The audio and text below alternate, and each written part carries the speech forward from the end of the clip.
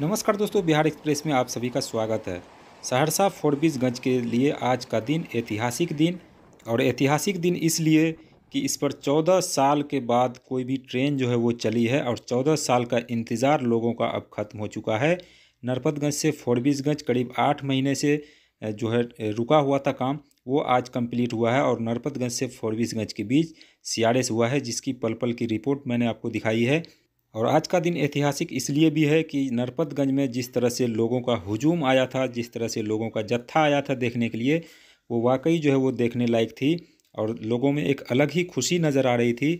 जिस तरह से लोग जो है ट्रेन का इंतज़ार कर रहे थे कि कब सियाड़ेस होगा, वो आज का दिन जो है वो उनके लिए काफ़ी यादगार साबित हुआ और जिसने भी देखा, उसने या तो सेल्फ़ी ली या फिर इस जो ये पल है, इसको वीडियो में कैद करके रख लिया। ताकि आगे जो है वो इस पल को याद कर सके। तो नरपतगंज से फोरबिसगंज के बीच सी आर एस कंप्लीट अब इसकी फाइनल रिपोर्ट जो है वो आनी बाकी है। जो भी रिपोर्ट आएगी हम आपको बताएँगे ज़रूर। क्योंकि ट्रेन को चलाने के लिए सी आर एस एक आखिरी प्रक्रिया होती है और इस प्रक्रिया के बाद ट्रेन की शुरुआत होती है।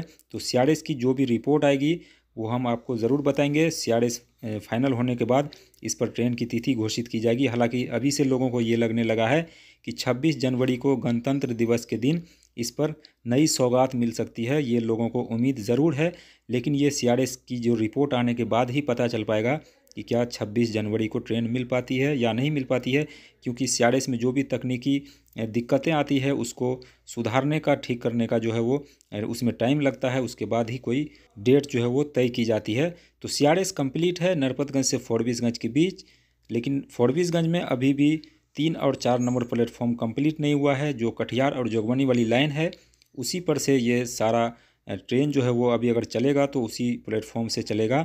आप यहाँ देख सकते हैं, दो नंबर प्लेटफॉर्म पर सीआरएस की जो है ट्रेन खड़ी है और लोगों का हजूम देख सकते हैं किस तरह से यहाँ पर जमा है। इस पल को यादगार बनाना चाहते हैं और सेल्फ़ी के साथ साथ वीडियो भी रिकॉर्ड करके अपने पास जो है रखना चाहते हैं। तो आप देख सकते हैं, ये तीन और चार नंबर प्लेटफॉर्म है, एक जो तीन नंबर प्लेटफॉर्म है उस पर स्लीपर्स लगाए गए हैं, लेकिन चार नंबर प्लेटफॉर्म पर अभी भी स्लीपर्स आपको नज़र नहीं आएँगे। तो ये कंप्लीट होता रहेगा, लेकिन अभी जो जोगबनी और कटिहार वाली लाइन है, उसी पर से ट्रेन का परिचालन होगा, अगर ट्रेन जब भी शुरू होती है तो।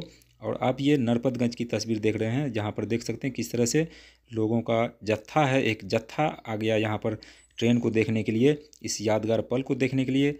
और ये नरपतगंज रेलवे स्टेशन को देखिए, दूसरी बार सजाया गया है। इससे पहले भी एक बार सियाड़िस हुआ था ललित ग्राम से नरपतगंज के बीच और एक बार फिर से आज जो है इसके लिए ऐतिहासिक दिन है। आज भी सजाया गया है फूल और माला से, देख सकते हैं ये तस्वीर। और ट्रेन जो है यहाँ पर खड़ी है सियारिस की ट्रेन। तो बड़ी अपडेट यही है कि नरपतगंज से फोरबिसगंज, साथ ही दरभंगा से फोरबिसगंज भी कनेक्ट हो गया है। और सहरसा से फोरबीजगंज कनेक्ट जो है हो चुका है। तो दोस्तों, ये वीडियो आपको कैसा लगा ज़रूर लाइक कीजिए शेयर कीजिए कमेंट कीजिए चैनल को सब्सक्राइब कीजिए। तो चलिए इस वीडियो को यहाँ पर एंड करते हैं और आपसे मिलते हैं किसी नेक्स्ट वीडियो में। तब तक देखते रहिए बिहार एक्सप्रेस यूट्यूब चैनल